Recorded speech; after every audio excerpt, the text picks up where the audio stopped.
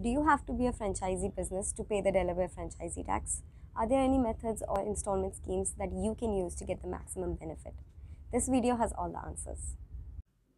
It doesn't matter where you are conducting your business, but if the corporation is incorporated in Delaware, you become liable to file annual franchisee tax report and pay franchisee tax for the privilege of incorporating in Delaware.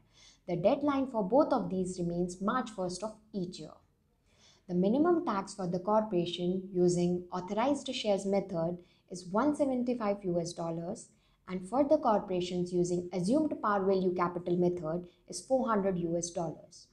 The maximum tax for the corporations using any of these methods will be 200,000 US dollars. However, if you are identified as a large corporate filers, then the tax will be 250,000 US dollars. If you owe taxes more than 5000 you can avail the installment scheme. To know more about that and to save yourself from penalties, please check the caption.